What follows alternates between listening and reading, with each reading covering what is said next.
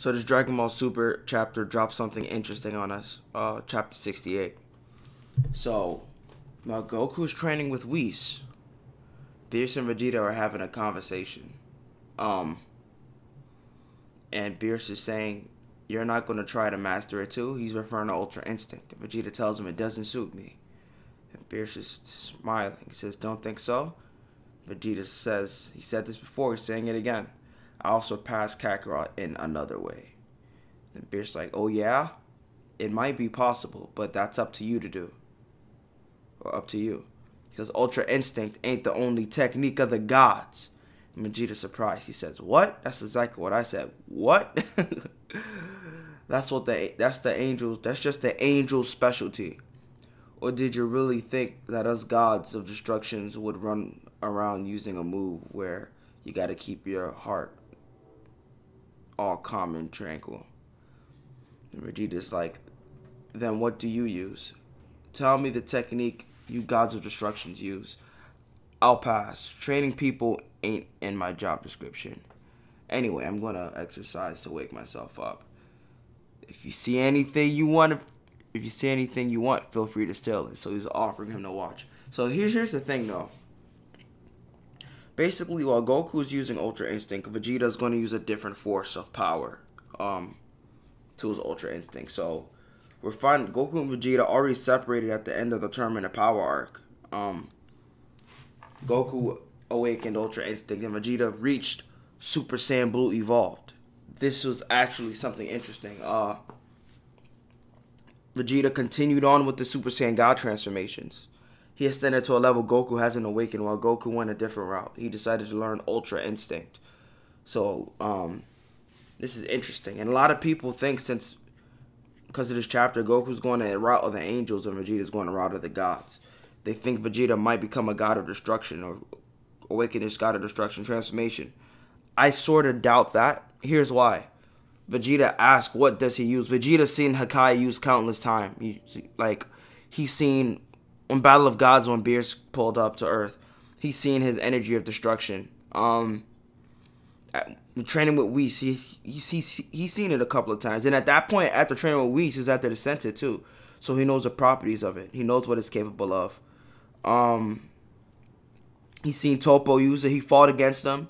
So Vegeta knows what the God of Destruction's power is. And yet right here, he's asking Beerus what he uses. Is there a different power that Beerus has that we don't know about that gods use? A technique sort of like Ultra Instinct that's different, that has different properties. Some maybe something more aggressive. Who knows? Um, on the surface level, people would say it's got a destruction ki, but I'm hoping it's something deeper, something different that's unseen. You know what I mean? Something that we haven't heard about. They're gonna start building up to it now, um, hopefully. But who knows? I honestly can't tell um, the most logical uh, conclusion people would come up with is that he's going to be using Hakai Aura. But I just wanted to be something special, know what I mean? Something unique, something that we haven't seen before. That's something only Vegeta can use. Because as they said before, it looks like Ultra Instinct. It isn't an it isn't specifically um an angel technique. Because Goku isn't an angel yet, he's tapping into it. But it seems that uh he's he's he's tapping into the realm of the angels themselves though. It seems that way. This is just the beginning. Just like a leak into their their little secrets that being ultra instinct an ability that any mortal can use. Um of course it's almost impossible without the right training. And goku has that training and he's gotten the hang of it. So he's he's entered a new realm. Well vegeta now it's vegeta's turn.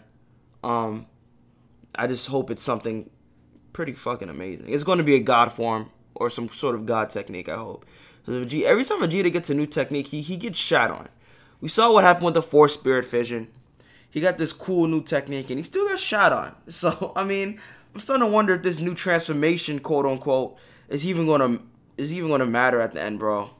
He's probably just going to get shot on again. The Ultra Instinct's going to have to pull up. But you know what else might happen? Fusion might be something a bit more than just a boost in power. Whatever Vegeta gets, imagine him merging that with Ultra Instinct. What kind of monster are they going to become? Vegito and Gogeta are just going to become fucking Watch this. What the fuck, bro? They're already broken. Oh my god. God damn, bro. There's no telling what the fuck is gonna happen. That's actually kind of scary. Um, let's just hope they lay away from from uh from Fusion for a while because they've been overusing it. And uh, next time Fusion pulls up, they need to pull up with something new. That's my thoughts. What do you guys think Vegeta's gonna awaken?